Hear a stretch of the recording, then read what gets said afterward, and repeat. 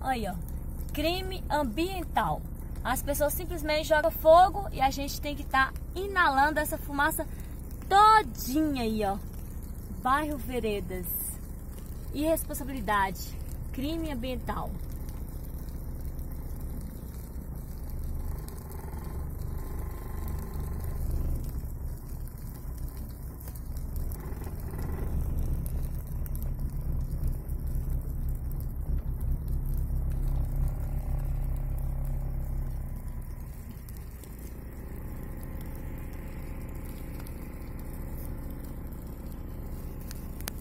A poluição do ar.